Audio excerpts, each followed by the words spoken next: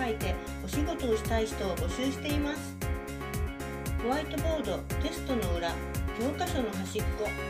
白いスペースを見るとついつい落書きしちゃうあなた。その落書き仕事になるって知ってましたか？あなたが何気なく描いているイラストは実は誰にでも描けるものではありません。立派な才能です。そしてそのあなたの才能を必要としている人本当に私の絵が仕事になるの？と思った方はこちらからメールアドレスを登録してお絵かきクリエイター企業5ステップ診断型ビデオセミナーを見てみてくださいね。あなたがその才能を仕事にできるかどうかイメージがつきますよ。